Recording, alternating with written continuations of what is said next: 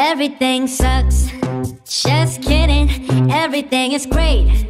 Not really. I haven't thought about my ex today. Oh wait. Fuck, I just did.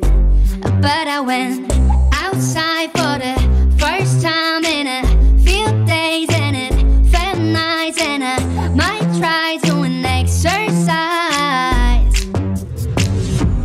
I wanna forget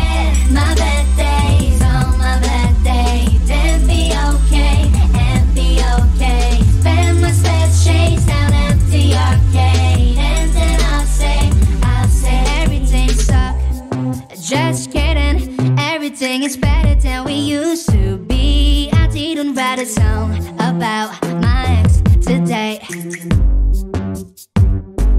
But I called my friends and I told them we should hang out if it makes sense. Cause I